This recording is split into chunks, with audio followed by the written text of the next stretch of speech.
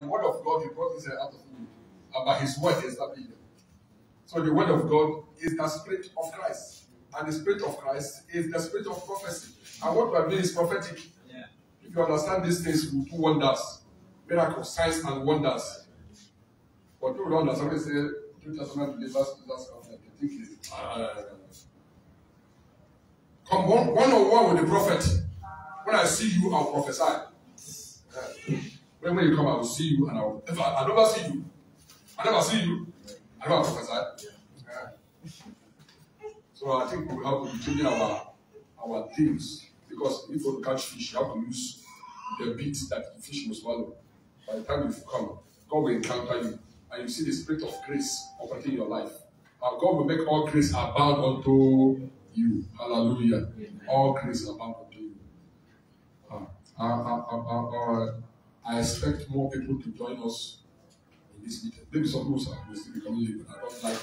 I want people to hear. That's why we are also uh, putting it on air so that others who are not other parts of the world can listen. Hallelujah. Today we are here to learn, and today we are having uh, the national, international president of the ministers, uh, New Testament Ministers Network. Now, the New Testament Ministers Network is a network of ministers of the gospel, which includes you, all over West Africa, starting from Nigeria, Ghana, and beyond. Hallelujah. Amen. What are we doing? We are just going about to let people know what we have done this morning. So this afternoon is here to give us the lowdown. And I believe that there's prophetic words that God is going to be releasing. You'll be hearing God telling you specific things as He's speaking, as it concerns your own life. I'm, I'm telling you, prophesied to my life. And the man kept the man was saying another thing, but from what he was saying, I was getting prophetic words. I got exact word that I needed that day to give. When I was doing, I said, ah, what made Hallelujah. So he does it in various places, various churches, various towns and uh, cities in Nigeria. And then we also have what they call the uh, couples get together. It's a special uh, uh, Mrs. Lamide T.B. Williams, T.B. David as a Williams. Hallelujah. And then he also the ministers network also run what we call the School of the Spirit. The School of the Spirit is an online school. It's not the one you register to pay school fees. It is what the, like we're talking now, the class is going on. It's on Facebook and uh, WhatsApp. We have faculty members who teach most of the things that will be taught in conferences in fire in your various locations, your churches, your meetings, your place of work. Hallelujah. Without wasting time, we welcome Pastor Timi David.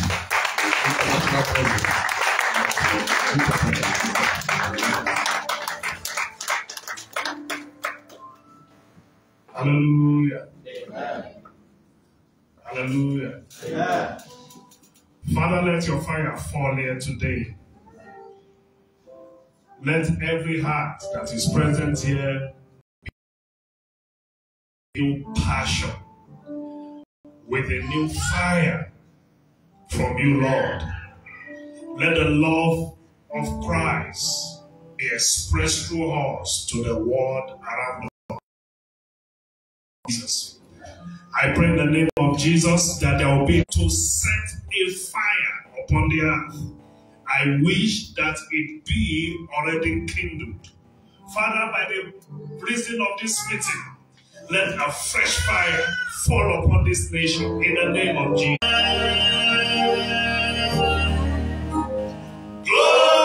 Glory, hallelujah. Everything within about me is great.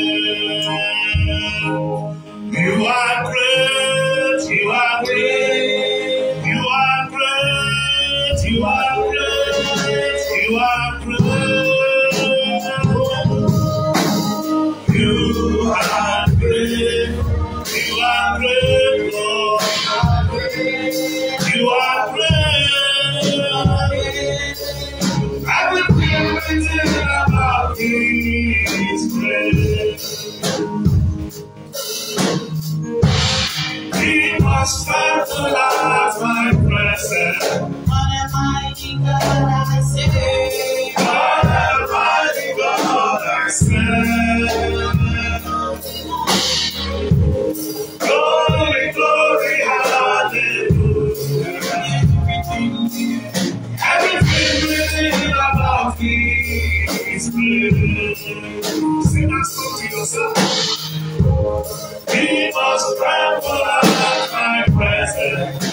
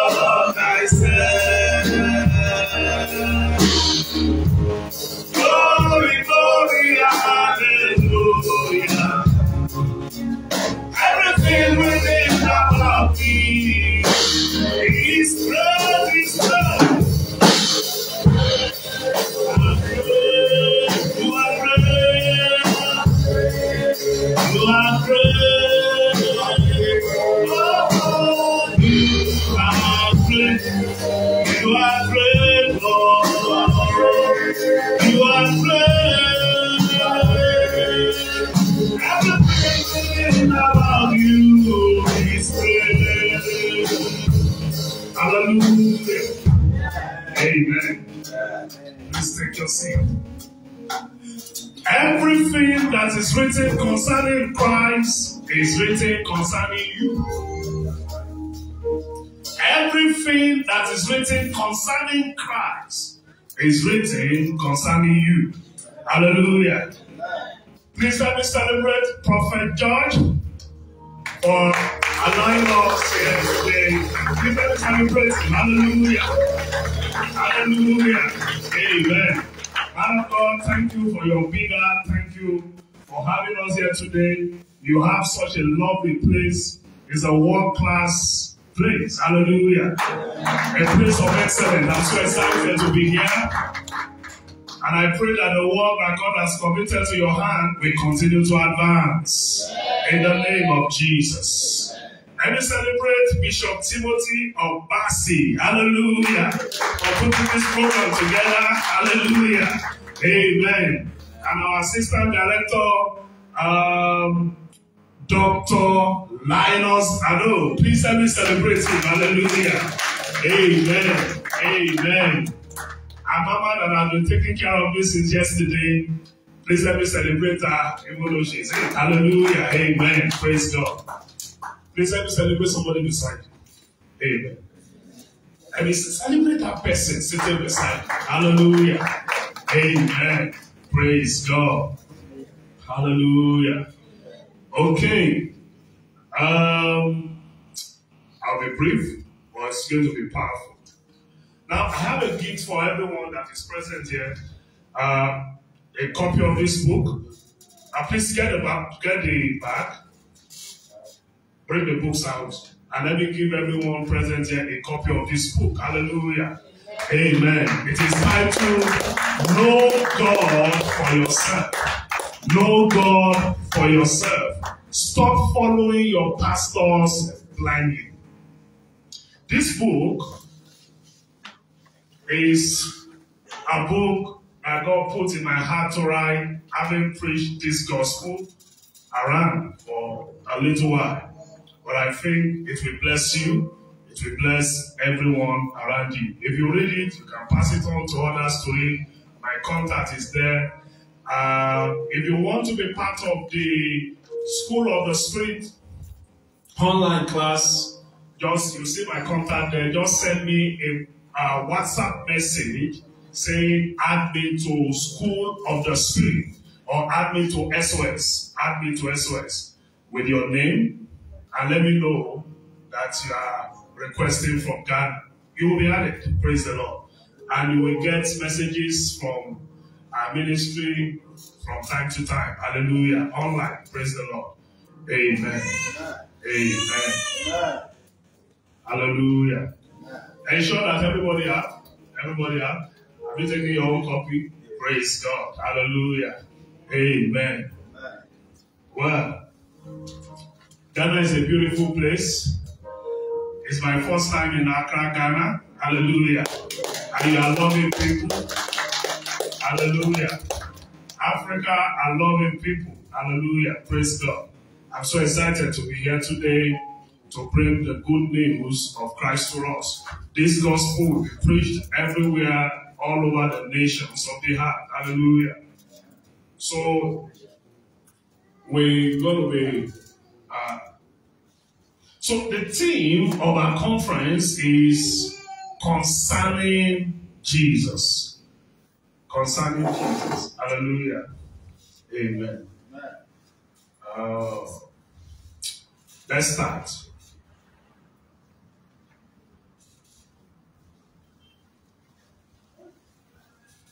Turn your Bibles with me to the book of Matthew. If you can help me with the Bible, I use the New Living Translation. You can put it up on screen. Uh, Matthew chapter 11.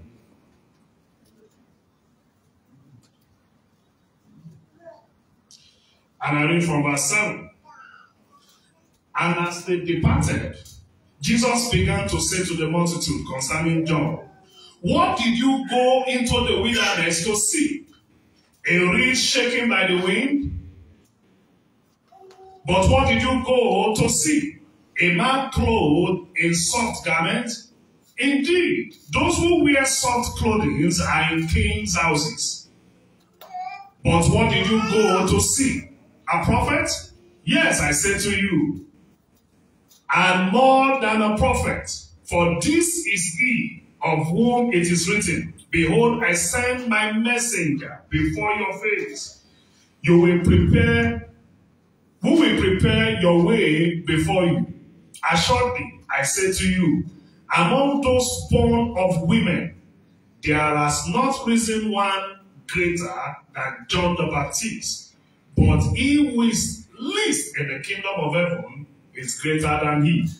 Among all those that are born of women, there had not been anyone greater than John the Baptist. That struck me. How will Jesus say that John the Baptist was greater than Abraham? Abraham is called the father of what? The father of faith. Abraham is the father of faith. Yet Jesus said, of all man. Let, let's see the verse again. Praise God. What verse is that? 11. Verse 11. Okay. Verily I say unto you, among them that are born of women, how many people, apart from Adam, every other person is born from? From a woman. So Jesus was saying, John the Baptist is the greatest or was the greatest among all that was born of a woman. Enoch walked with God, and God took him. He disappeared. He was no more. Jesus said John the Baptist was greater than him. About Abraham, he said John the Baptist was greater than him. About Moses, you know Moses that parted the Red Sea. Moses that brought plagues upon the uh, Egyptians. Moses that, uh, you know, his rod swallowed the rod of the magicians. He performed so many miracles. Those miracles, in fact, I don't know if they can happen. Amen. Parting the Red Sea and human being walking on, you know, on water as if it's just a playground because the water parted into two. Hallelujah. And the Bible says John was greater than Moses. What of Elijah? Elijah, the man that called down fire from heaven and killed, you know, you can imagine the president of Ghana asking 50 uh, soldiers to go and arrest somebody. And the man stayed on the camel. He said, If I be a man of God, let fire fall and consume you. And the whole 50 people died. Hallelujah. And he sent another battalion. And the man killed another 50. The third battalion came and started begging. We know you have power. Amen. That's Elijah. Elijah. But Jesus said, John the Baptist was greater than Elijah. Moses was the giver of the law.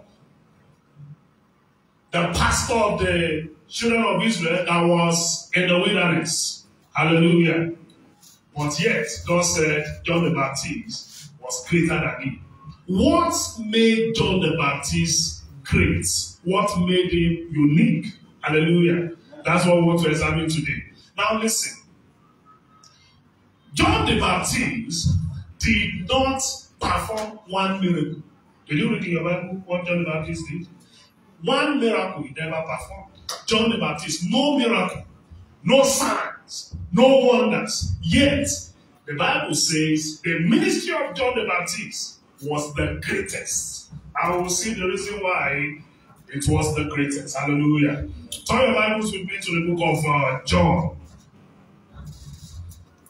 The Gospel according to St. John. Praise God. John.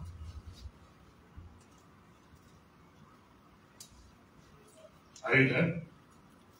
Chapter 1.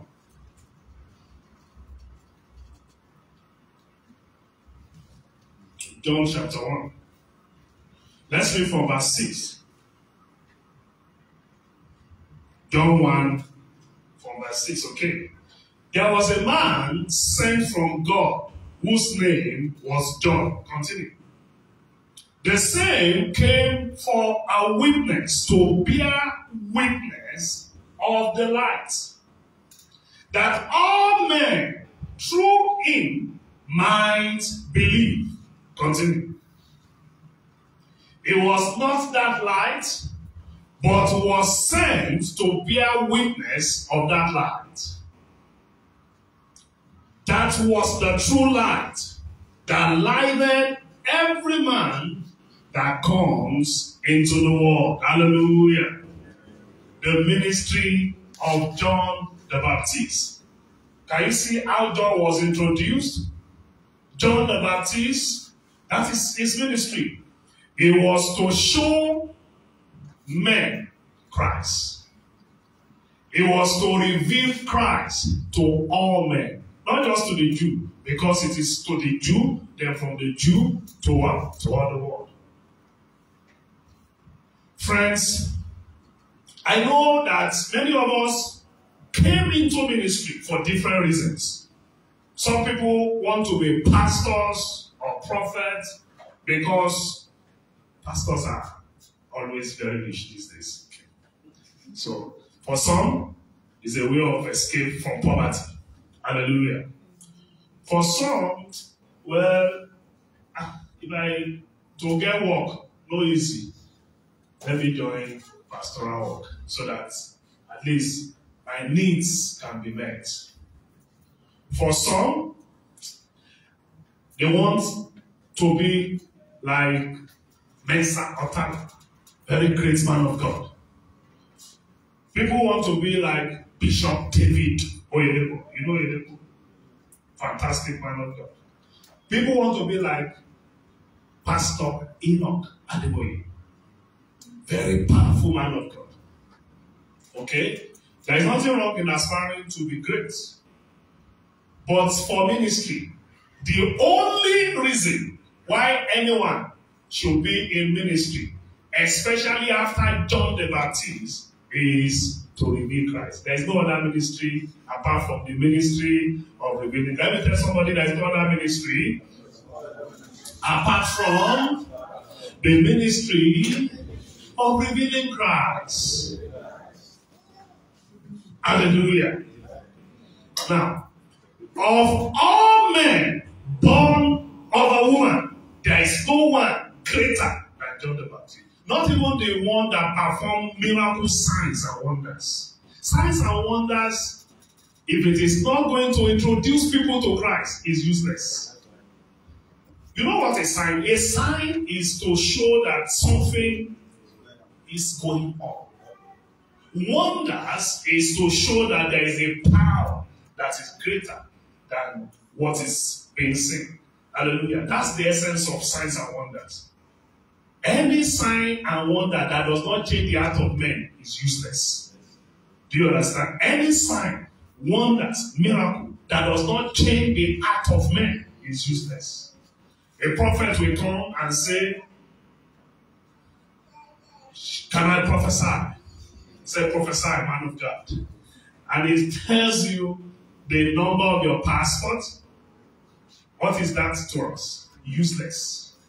Hallelujah. It amounts to nothing because it's not revealing Christ. it's revealing number of passport. It's not revealing Christ. It's useless.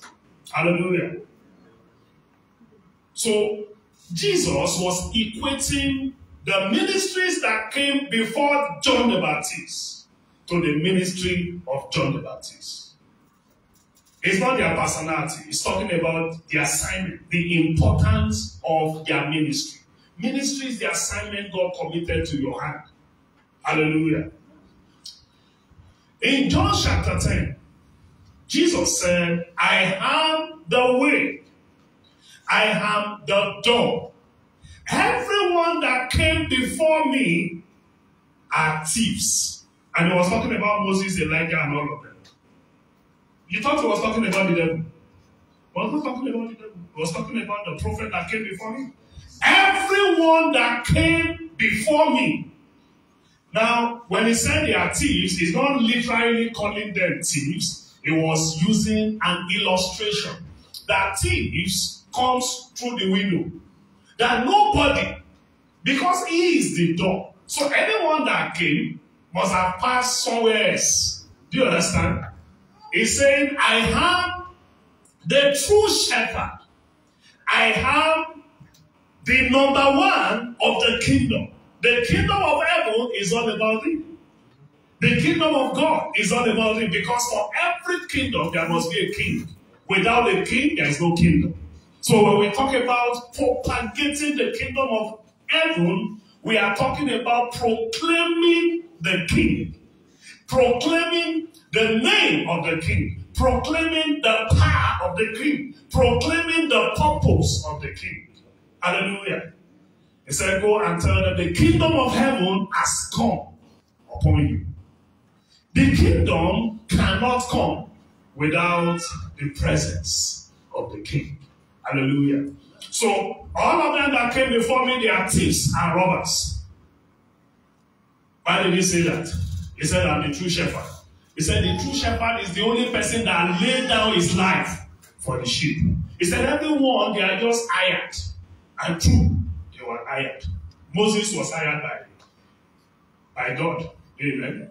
Elijah was hired by all the prophets. They were sent, you know, in order to prepare the way for the one that is coming. Hallelujah. So they, Jesus was saying they were not the big, they were not the real deal. That he is the real deal. He is the door to the sheepfold. Now listen, where I'm going is not far, but I want us to just take it one step after the other. Um, so that we can establish this truth once and for all and progress after today. Verse 10 of that same John, John chapter 1. Let's read verse 10 to 12. He was in the world. Now, the reason why we why why did we need the ministry of John the Baptist to reveal Jesus to the world? Now, that's the reason is what we are reading in verse 10. Verse 10. He was in the world, and the world was made through him, and the world did not know him. Somebody created something. What he created does not know that. Does not even who created. Can you imagine? He was in the world. He came into the world he created. The creation that he created did not recognize him. Praise God. You know why? Because he left his glory and put on the form of man. They were seeing him as man. They were seeing him as one of the prophets. They didn't know that he's the author of life himself. They didn't know that God himself had come in the flesh to be with mankind. Do you understand? Now, he said, He came to his own, and his own did not receive him. But as many as received him, to them gave the right to become children of God, to those who believe in his name, who were born not of blood, nor of the will of the flesh, nor of the will of man, but of the will of God. So the ministry of John the Baptist was to introduce, I mean, men to Jesus. Why?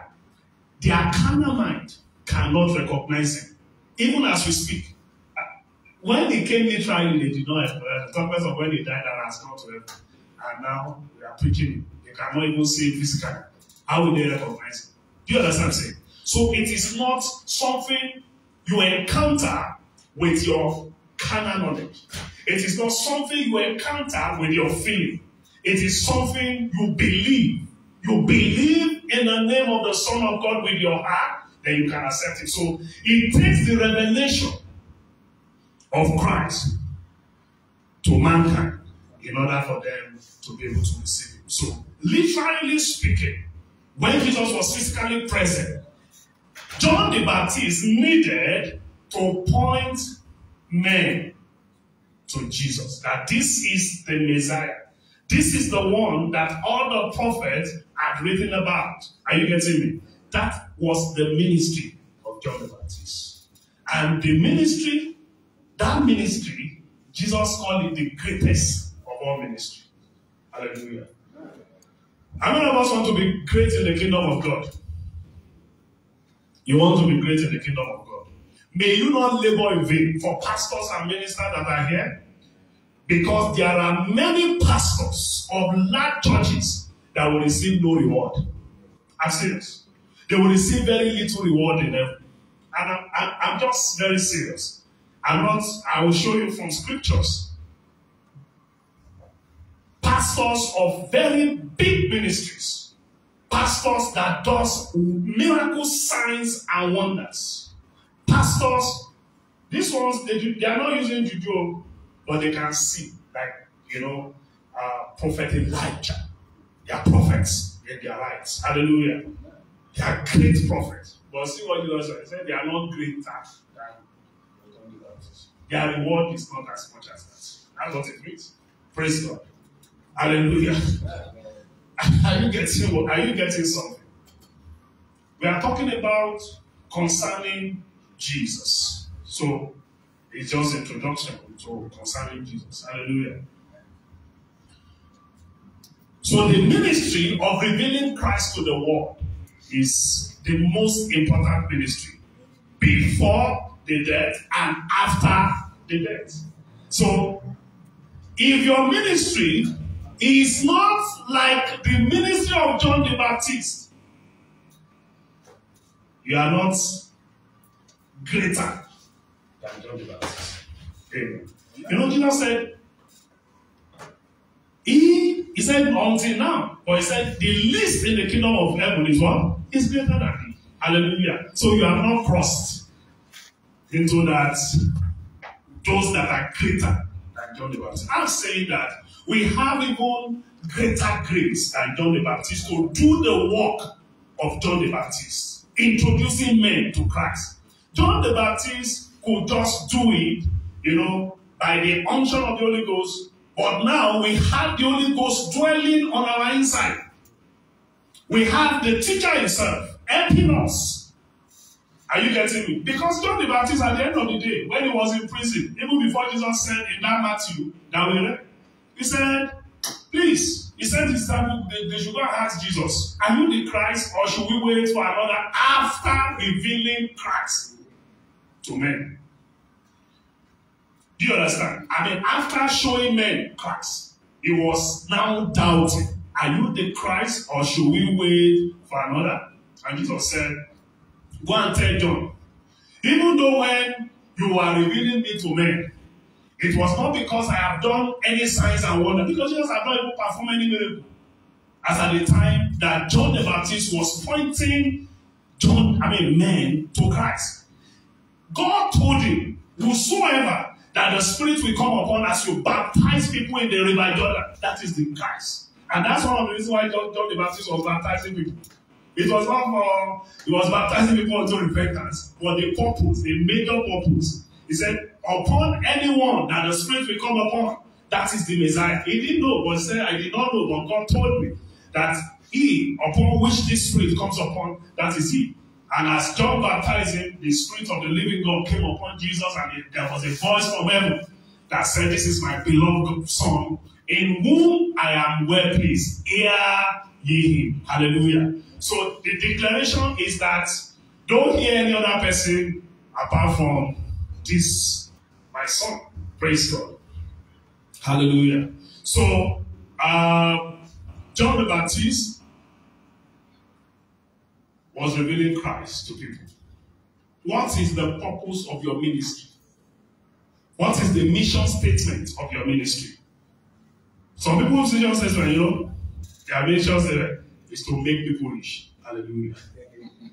God has sent me as a prophet to the nation to make my people rich. Hallelujah.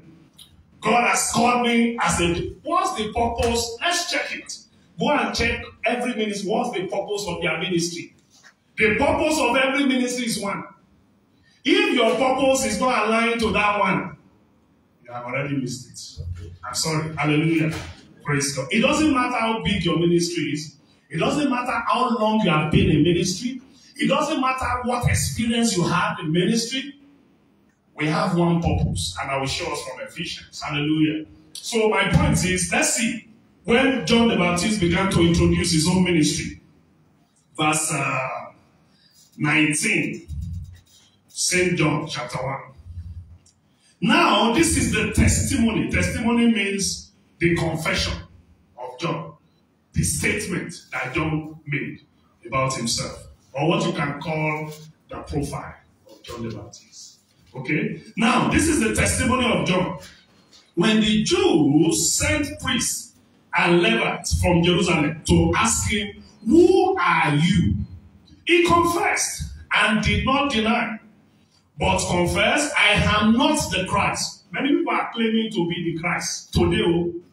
Now, see, John said, I am not the Christ. And they asked him, What then? What then? Are you Elijah? He said, I am not. Are you the prophet? And he said, No. Then they said to him, Who are you? That we may give an answer to those who sent us. What do you say about yourself? Let me ask your neighbor, what do you say about yourself? You don't always anything. Let me ask another person, what did you say about yourself? He said, I am the voice of one crying in the wilderness, make straight the way of the Lord. As the prophet Isaiah said, now those who were sent were from the Pharisees. Okay, let's stop there. He said, I am the voice of the one crying in the wilderness, make straight the way of the Lord. Another translation will say, prepare the way for the Lord, showing men the Lord. Hallelujah. Showing men the Lord. That's his mission statement. They ask him, what, who are you? And John never failed in describing his assignment. His assignment was to show Jesus to the world. Hallelujah. Praise God. He said, I am the voice of the man in the wilderness. It started like that. Many of us are, you know, sometimes you look at your ministry and you look at yourself as if you are a voice in the wilderness. Nobody, you are not in the city. Nobody is listening to you. Nobody is hearing you. But you know that God has put an assignment in your heart. And you are declaring that assignment. That was like John. Hallelujah. He said, I'm the voice of one in the wilderness.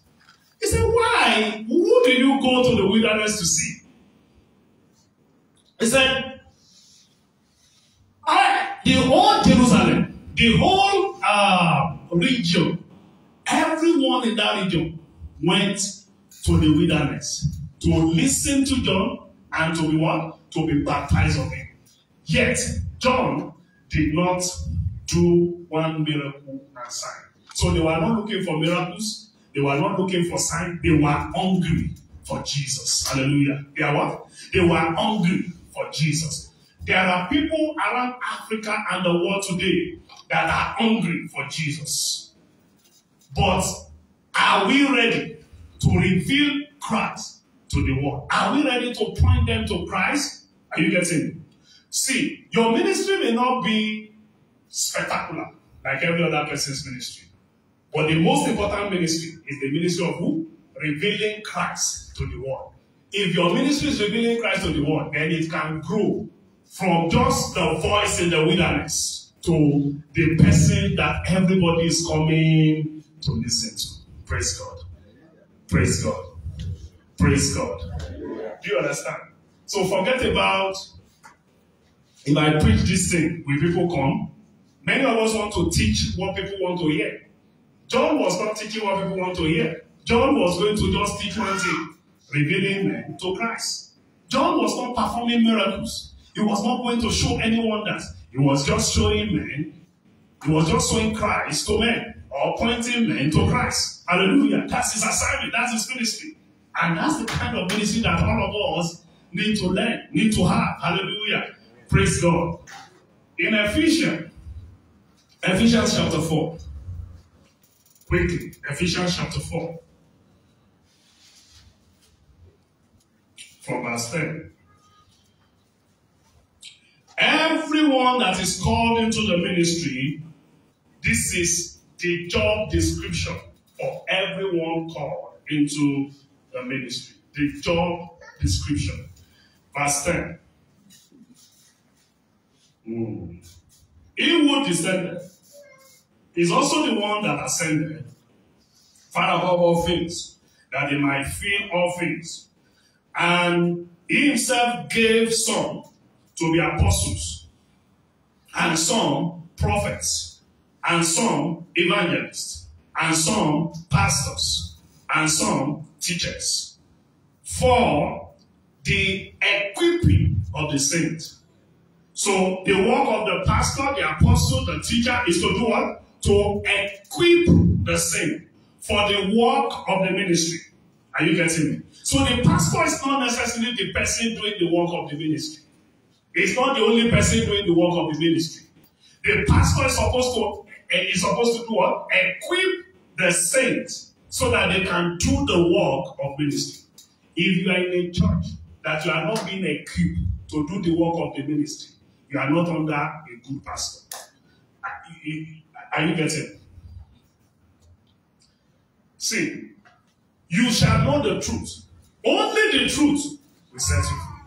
The reason why people are in bondage today in Africa, there are so many lies that are sold to them as the truth. The truth is the word of God. Jesus is Jesus is not just one of the truths. He said, I am the truth. So the more you know about Christ, the only thing that is truth in the Bible. Now listen, the Bible as a whole book is not all the word of God. You think the Bible is just the word of God. So some people read the Bible and anything they see there, they believe everything is the word of God. The devil also spoke in the Bible, amen. And Judas went and hung himself. And the open Abraham said, Brother, please do go and do likewise. Amen. do you understand? So my point is, if you read the book of Job, you will see where men were speaking to Job. And you read it as if it's scripture. It's not scripture. It is the friend of Job that was speaking to Job, counseling him. At a point, his wife also counseled him and said, let me, let me, and said, curse God and die. Do you, do you see? So you can't say that is just the word of God. So the Bible contains history, histories of the Jew. The Bible also contains stories, history, stories. Inside of those stories and history lies the scriptures. Do you understand? The Bible contains what? For example, in the beginning, are you there? God made heaven and earth. That's history. Is it not history? God made heaven and earth, and the heart was without form and void. And God said, so Genesis help us to know what happened in the beginning. But in the history that is written in this book lies the scriptures. Now, as you read the Bible, what you're supposed to be looking for are the scriptures. Jesus said, You search the scriptures How? Because they were reading the Bible, searching the scriptures, thinking that in the scriptures they will find eternal life. Not knowing that the scriptures were written about Christ and they've seen Christ, yet they did not accept Christ. Do you understand? Now, Jesus was using that to tell them that you search the scriptures, thinking that when you get the scriptures, you will have eternal life, not knowing that the scriptures actually spoke about it. Why is it like? Is it so sensitive? Hallelujah. Amen. So my you look for in the scriptures are the things that are written concerning Christ. That is what you find the word of eternal life. Hallelujah. Now, when the prophet prophesied, sometimes they give prophecy. David, Moses, and they were talking about Christ. Many of them didn't know. They were just talking. It is when people began to read the prophecies of the prophet, and all of them only prophesied what they saw. This one saw the face, this one saw the head, this one saw the nose, this one saw the back. They did not understand. It was when you bring all the scriptures together that it now begins to do what? To make sense to them. Hallelujah. That's why the disciples will say, This is what was written in the book of Isaiah. Are you getting me? Concerning the Christ. Paul will talk about this is what was written concerning Jesus in the book of Jeremiah concerning the Christ. So by the time they put everything together, they know that even though a Isaiah prophesied about somebody that is going to do something, a Jeremiah also said about a man. Abraham spoke about a man. Moses himself said, A prophet will God give huh, that will come after me. He you should listen to. That was what Moses said. Then somebody kept that to her. They are not looking for that prophet. Another person said, You know, unto us a son is given, unto us a child shall be born. They were looking for the child. They, they all prophesied differently, you know, based on what they saw. But none of them had the full knowledge of the gospel, of who Christ is. That is why when John came, they began to point out, they could not use the scriptures. They did not have the understanding. Hallelujah. Praise God. But the scriptures spoke about Christ. Now, many of us are using scripture to teach something that the scripture did not teach. They teach the scripture speak about? About Christ. So we cannot use the scripture to teach what the Bible does not originally use it to teach. The Bible cannot mean today what it did not mean yesterday. Do you understand? Jesus is the same yesterday, today, and what? And forever. The Bible cannot mean today what it did not mean yesterday. Write it down. The Bible cannot mean today what it did not mean yesterday. So no one in this era can have his own interpretation. The Bible says no scripture is of what? Private inter. So you cannot interpret the Bible privately and say God gave you a special revelation. That is different from what the apostles explained the scriptures to be. Do you understand what I'm saying? They are not getting it. There are people today that read the Bible and say, oh, they found something very powerful, and they come to share it. Congratulations to them. Hallelujah. Now listen. The foundation of the church is laid upon his holy apostles and prophets. Ephesians chapter 2, verse 19 and 20. The foundation of the church is laid upon his only apostles and prophets. Jesus Christ himself being the chief cornerstone. Jesus did not lay the foundation of the church. What did I say? Somebody is looking at me. They want to throw stone at me. Please help me. Amen. You are not agree. Okay, let's say Ephesians. Let's read it. So, because what I'm saying maybe it's a bit strange to you. Jesus did not lay the foundation for the church. How? The church was not born until after his death. So there was no church until Jesus died, resurrected, and went to heaven, and the Holy Ghost came. The church started in Acts chapter 8 when the Holy Ghost came and people became born again. Peter, John, James, Matthew, throughout their lifetime with Jesus, they were not born again. Do you know that? They became born again when the Holy Ghost came. We need to know that. Now, who is a born again Christian?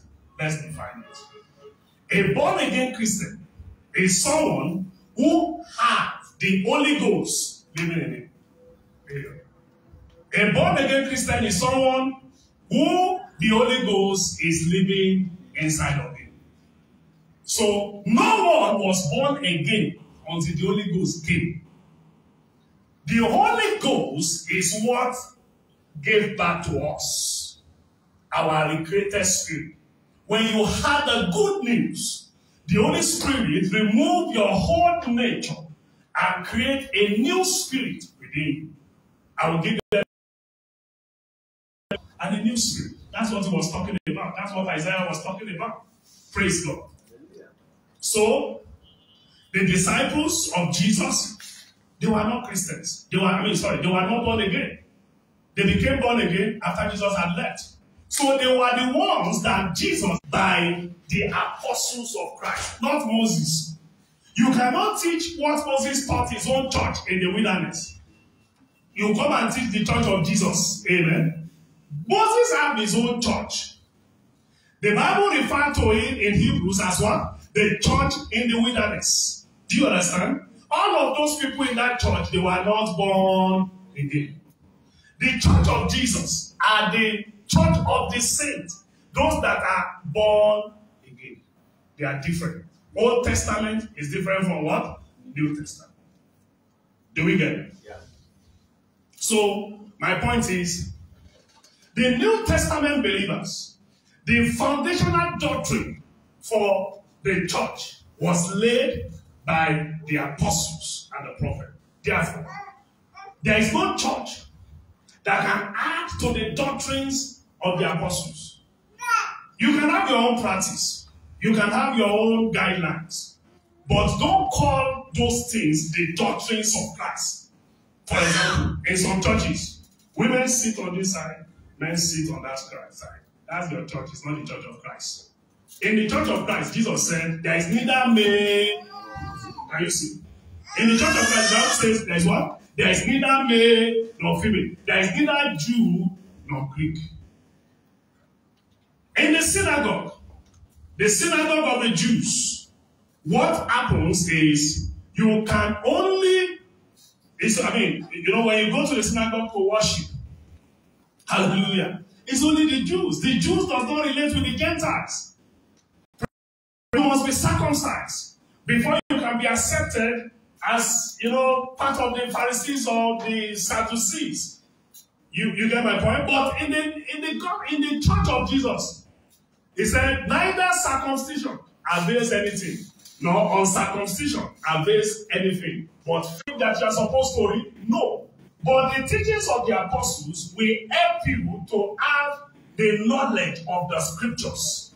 That is, the understanding of Galatians, Colossians, Ephesians, Philippians will help you to understand the writings of the prophets and the writings of Moses. Amen. Because all of them were writing about Christ. They had many errors trying to describe who he was. Their writings were made of plenty errors. Are you getting me? Because their own personality was part of their writings. They were not perfect. That's why the Bible says in Hebrews that Jesus is the express image of the invisible God. He is the only one that can tell us the true picture of who God is. He said, if you have seen Christ, you have seen. Even Jesus said it when he was earth. If you have seen me, you have seen my Father. Nobody can describe our Father. Do you understand what I'm saying? Moses cannot describe Jesus effectively. Elijah did not. They only professor, they only spoke a part of it. It is when you combine everything together that you can have a whole picture of it. But in the New Testament, but a believer, you know what a believer is? You will first believe. A believer first believe. That's why you call you believer. You will never see anything really in your life without first of all believing it. A believer in Christ believed all that Christ says without seeing it first. When you believe it, then you can see it. Remember, when Jesus appeared to his disciples, there was one person that was not, he was not there, Thomas. He said, I will not believe except I see him face to face. He said, even if I see him, I still need to put my hand in that wound and by his side so that I will be sure because he was there when he was crucified. He knew there was a hole and there was a hole in his hand and by his side. So you said Jesus rose. Don't forget, Jesus told them that he was going to die and he was going to rise again. Thomas did not believe. If Thomas did not believe, Thomas will go to hell for not believing. You don't get it.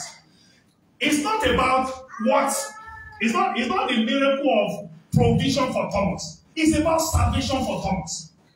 For with the heart, man believe unto salvation. What do we believe? We must believe that Jesus Christ died and was raised from the dead. Are you there? But you must believe. That is why they call us what? Believer. There is no religion that is religion of believer. It's different. Our own belief, saints, believers in Christ, they are not religious people. They live in the reality of life. Do you understand? Now, look at it. You must first believe everything that the scripture said about you. You must believe it. Don't take the word of your pastors for it when it contradicts the scriptures. You will be doing it's just like okay, your father wrote a will and said there is a building in Lagos, in Abuja, number 55, Gaki, eh? for you, and your name is there. And somebody claimed to you and preached to you that you're a poor person, your father does not leave anything for you. And you go and believe that person. Who will you believe? Your father or someone that just came to you? Do you understand what I'm saying? The scriptures is the will of God concerning you. It's the revelation of what Christ has done. As you read about Christ, you are reading about yourself. As you read the epistles, you are just reading yourself. Should we try? I'm telling you, everything that is written there is written about you. That's why we go sing, sing that song. Demons tremble at my presence. Why? You shall cast out devils in my name. You shall. And he was talking about you. He said, All powers in heaven and on earth has been given unto me. And I behold, I give unto you power. If he said he gave you power, when did he collect it? That means you have you are in possession of what? Of power. Which type of power? The power that created the heavens and the earth is inside you. Oh my God. If the spirit of him that raised Christ from the dead dwells in you, that you don't understand the word of God. Said, the spirit that raised Christ is in you. You better believe it. I believe it. That is that spirit that we, you know what they call rapture? He is the spirit that raptures people. Not because you live right or you live, don't live forever. Do you believe that the spirit that raised Christ is in you now? Now, having established that, that spirit can is the power. God does not have any other power apart from the spirit. So that only speak. What you believe affects how you think. What you believe affects how you live. You don't know. So, for example, there are things I don't do. If you see the other side, you will not be afraid to die. To go, he said, I- I'm in between two, whether to go or to stay. I don't even know whether to go. But he said, if I stay, it is for your benefit, so that I will use that opportunity to teach the church. And we need people to take the gospel. Praise God. Praise God. Hallelujah. And also not to have any form of fear. Number one, what you must not have is what? Fear. Number two, what you must not have is guilt. Those two things, fear and guilt, is the work of the enemy. The Bible says we have not been given the spirit of fear. believe in Christ. Book of those who does not believe. Have the two books. There is no works there. Ephesians chapter 2 says, For by grace you have been saved through faith. It is not of works. Read your Bible. It is not of works. Lest you boast that I some people think that it is their faith that is in Christ that is making them to stand. So they want to increase their faith. They, they, they, are, they look at some men of God and they think, and they have of it, and they want to do what those men of God did so that their faith can grow to be like them. We have only one faith. The Bible says we have only one God. We have only one. Is that brother still in faith? If you are born again, you have faith. See how the see, just read the Bible and believe what the Bible says. Meditate on it and you understand what the Bible says. The Bible is deeper than you think. It's saying that if you let's read it so that let me carry it. Romans chapter 10. I don't want to, so that I won't say too many things that uh, you pass over you. Okay? Let's see, I think from uh, How shall they call on him in whom they have not believed? So people cannot call on the because the earlier verse said, Whosoever call upon the name of the Lord shall be what? Shall be saved. The earlier verse. Yet the most difficult thing for people. You know why? It takes faith to be saved. Not works, nothing apart from believing in him, they are saved. But how shall they believe? How shall they call on his believing? You must believe before you can receive. Now, how can they call on him in whom they have not believed? How can they believe without hearing about him? How can they hear without a preacher?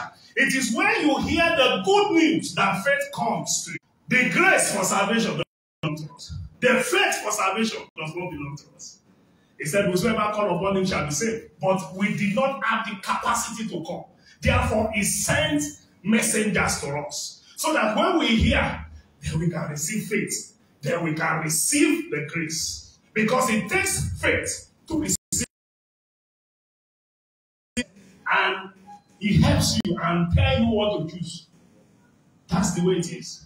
He gave us the faith so that we can receive. That's the good news.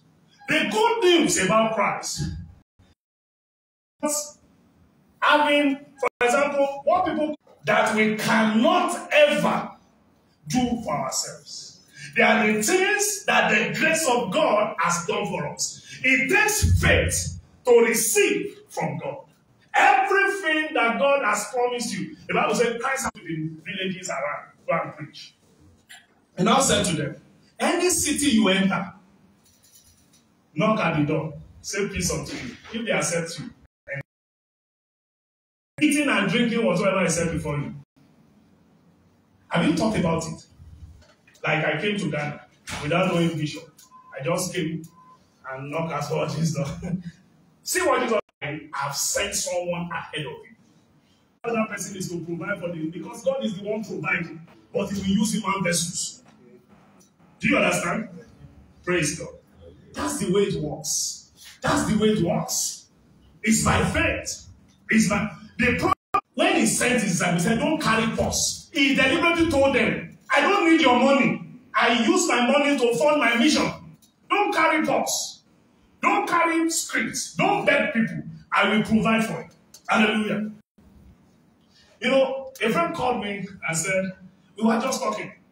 He's one of my partners in Canada. We were just talking. He said, There's a car that he has bought. That he reserved one for me. I didn't ask him for. I didn't. God knows my heart. I need the car.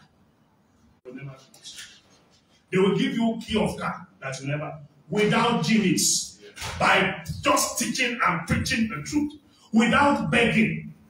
Somebody came and said, Pastor, the Lord told me to give you $500. Just a few weeks ago, $500 in man of God. And God knows that we needed it. Do you understand? I have my two kids in private university. Will you blame me? Nigerian university since how many days they are not in session. Do you want to blame me? So I need to trust God. Else, my own sons will just despise me and despise my ministry. Amen. So I need to trust God to put them in private. So one is in covenant, one is in uh, uh, Babcock. Praise God. The last, you know, the first one in, uh, we, we managed to put in.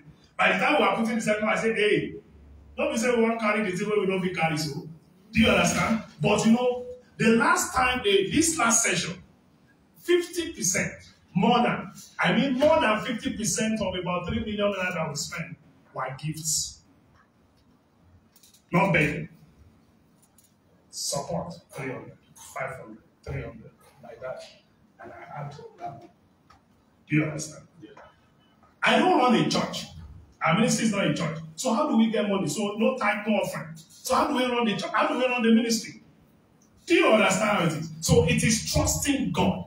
Bishop knows how much program we have. We are having a, a, a ministers conference in Lagos. It's going to be attracting, normally it attracts, it's been there, over 150 ministers. And it's with banquet, so we are going to prepare food, you know, for everybody. We are coming back to Ghana by the grace of God to come and organize a bigger program. Hallelujah.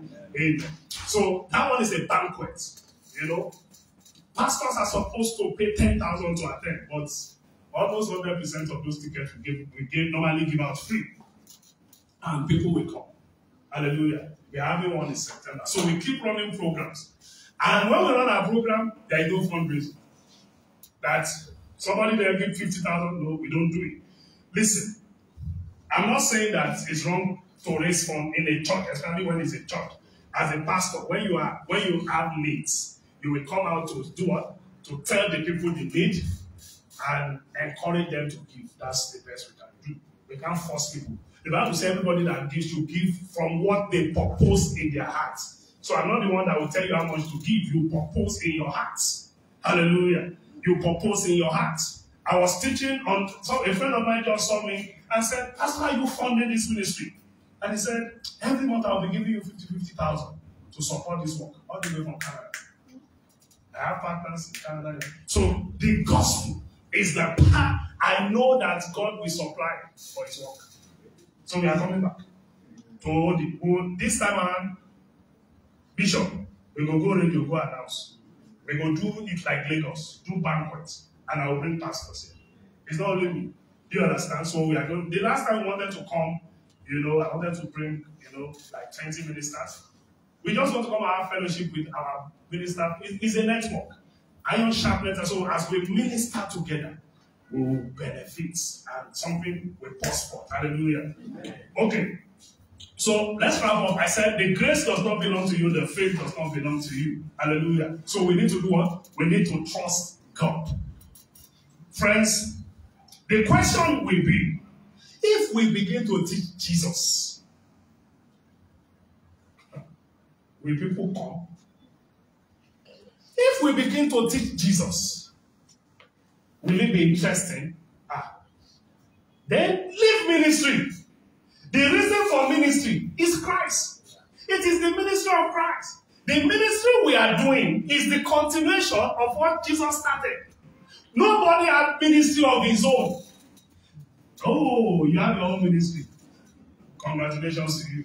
Because you have already determined what you want to do. Your purpose. I was asking what is the purpose and mission statement of your ministry?